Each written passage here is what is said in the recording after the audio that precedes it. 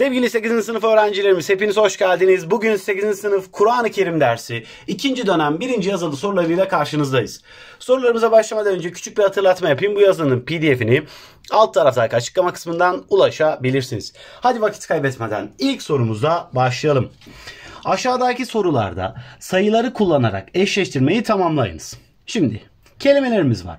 İslam, takva, sabır, sulh ve mucize kelimelerimiz. Birinci metnimize bakalım.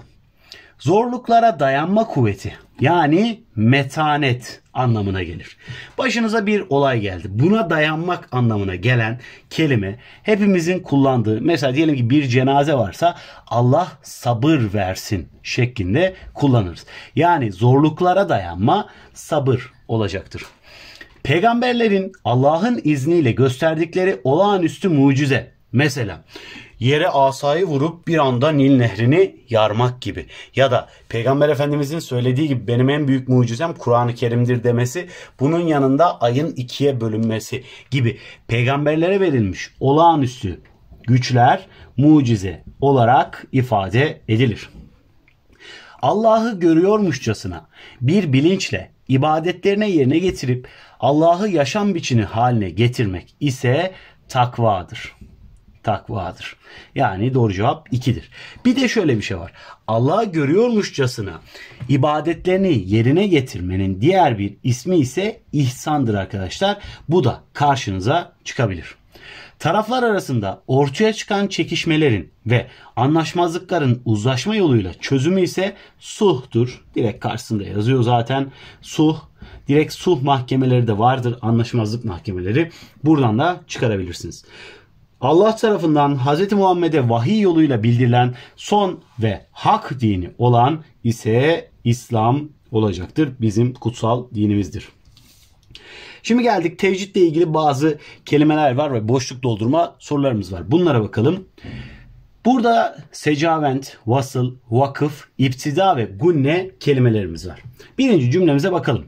Kur'an okurken bir kelimeyi kendinden sonraki kelimeyle birleştirmeye arkadaşlar vasıl denir. Vasıl denir. Tevcid ilminde genizden gelen ses demektir. Dikkat ederseniz genizden gelen ses hep G ile başlıyor. Buradan kodlayabilirsiniz. Bu da gunne olacaktır.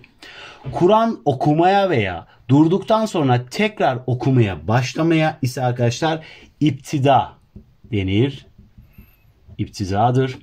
İlk kez belirleyen kişiye atfen nokta nokta işaretine nokta nokta da denir. Bu arkadaşlar ilk kez belirleyen kişiye atfen vakıf işaretine yani dur işaretine bir nevi secavent denir.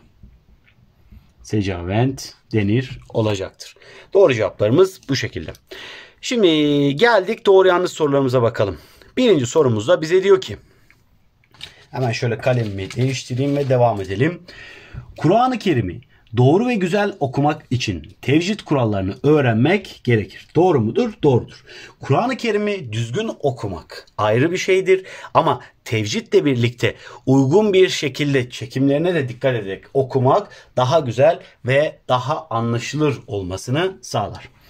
Kur'an bizlere doğru yolu gösteren evrensel bir dindir. Yani bütün toplumlar, bütün evreni bir anda kapsayabilecek bir dindir. Kur'an okurken durak olmayan bir yerde durursak geriden başlayarak okuruz. Bu da doğrudur arkadaşlar. Genelde mesela Kur'an tilavetlerini dinlediğiniz anda ne yaparlar? Önce bir okurlar. Hoca orada nefesi eğer daralırsa ya da yetiştiremezse orada bir duraksar. Tekrar arkadan başlayarak okumaya devam eder. Kur'an-ı Kerim'den sadece yaşlı kimseler sorumludur demiş yanlıştır. Kur'an-ı Kerim insanın tamamını kapsayan sizin bizim gibi yaşlı olmasak da genç olan herkesin okuyabileceği bir kitaptır. Tilavet okuma secdesinin hükmü sünnettir. Arkadaşlar Hanifi mezhebine göre baktığımız zaman bu bir vaciptir arkadaşlar. Yani yanlış bir ifadedir. Furkan hakkı batıldan ayıran demektir. Furkan suresiyle de bunu görmüşsünüzdür. Dersinizde işlemişsinizdir. Şimdi test sorularımız var. Test sorularımız da yine tecvid üzerinden bazı sorular barındırıyor. Bunlardan birinciye baktığımız zaman tilavet, okuma secdesinin hükmü nedir? E hocam az önce biz söyledik söyledik ama yine de unutmayın Hanifi mezhebine göre hükmü vaciptir. Nokta nokta suresi Kur'an-ı Kerim'in 49. suresidir. Toplam 18 ayettir. Bu sure Medine döneminde nazil olmuştur. Bu sure adını odalar anlamına gelen kelimeden almıştır. Yukarıdaki özelliği verilen sure aşağıdakilerden hangisidir? Duvarlarla çevrili alan yani odalar anlamına gelen 49. sure arkadaşlar Hucurat suresi olacaktır. Tevcid ilminde genizden gelen sese ne denmektedir? Hadi bakalım deneme. Arka tarafta ben bunu söyledim. Genizden gelen ses. İki tane G'yi gördün. O zaman doğru cevabı ne işaretliyorduk? Gunne işaretliyorduk. Kur'an-ı Kerim gönder gönderilmiş amacı Sad suresinin 29. ayetinde şu şekilde açıklanmaktadır. Resulüm sana bu mübarek kitabı ayetlerini düşünsünler ve aklını kullananlar öğüt alsınlar diye indirdik. Sadece bu ayete göre aşağıdakilerden hangisi çıkartılamaz? Bakın dikkat ederseniz sadece bu ayete göre. Kur'an mübarek bir kitaptır. Ayete bakıyoruz mübarek bir kitap olduğunu bize söylüyor. İnsanların düşünmesi gereken bir kitaptır. Ayetleri düşünsünler diye gönderildi. Var. Öğüt alınması gereken bir kitaptır. Baktık öğüt alınsın diye indirildi. Var. Ama Kur'an son ilahi kitaptır derken burada öyle bir bilgi vermemiş. Sadece bu ayete göre dediği için bu bilgi bu e, ayette açıklanmamış. Kur'an-ı Kerim ile ilgili aşağıdakilerden hangisi yanlıştır? Mutlu ve huzurlu bir hayat sürmemiz için Kur'an-ı Kerim'i okuyup anlamaya önem vermeliyiz. Çünkü Kur'an-ı Kerim bizim hem dünyamızı güzelleştirmek hem de ahiret hayatımızı güzelleştirmek için Allahü Teala tarafından, yaratıcı tarafından gönderilmiş bize kutsal bir kitaptır. Ondan dolayı hem bu hayatı hem de ahireti düzeltmek istiyorsak Kur'an-ı Kerim'i sürekli okuyup ve anlamaya, özellikle anlamaya önem vermeliyiz. Yani sadece okumak da bir şey ifade etmez, anlamamız gerekir. Kur'an-ı Kerim sadece peygamberlerin hayatından bahseder. Yanlıştır. Kur'an-ı Kerim içerisinde baktığınızda peygamberlerin hayatından bahseden ayetler vardır ama bunun haricinde insanın gündelik hayatta nasıl yaşaması gerektiği, olası bir anlaşmazlık durumunda nasıl davranması gerektiğini de anlatan çokça ayet vardır. İbadetlerden tutun her şeyle ilgili bilgi vardır. Kur'an-ı Kerim içerisinde bulabileceğiniz çokça konu var. Namaz kılarken okumak için Kur'an-ı Kerim'den bazı ayetler ve sureler öğrenmeliyiz. Namaz ayetleri şeklinde öğrenmemiz gerekir. Kur'an okumak insanı psikolojik açıdan rahatlatır mı? Mükemmel rahatlatır. Çünkü bir güven duygusu, bir ee, tevekkül duygusunu siz orada yaşadığınız için mükemmel bir rahatlama yaşarsınız. Yani ben ne yaparsam yapalım Allah benim yanımda diyebiliyorsunuz. Kur'an ile ilgili aşağıdakilerden hangisi yanlıştır? Son ilahi kitaptır. Evet doğrudur. Allah'ın sözüdür. Doğrudur. İndirildiği şekilde günümüze kadar ulaşmıştır ve kıyamete kadar da ulaşacağı Allahü Teala tarafından kanıtlanmıştır, söylenmiştir. İndirildiği dönem için geçerli olan bir kitaptır demiş. Yanlıştır. Kur'an-ı Kerim'in indirilme dönemine baktığınız zaman 610 yılı. Biz hangi yıldayız? 2023 yılındayız değil mi? Baktığınız zaman aradan ne kadar yıllar geçmiş? 1413 yıl geçmiş. 1400 Tabi bu indirilmeye başlandı tam bittiği tarih değil. Hani aşağı yukarı 1400-1413 zaten o Kur'an indirilmeye başlandığı ve indiği yılı da kattığım zaman ortalama 1400 yıl.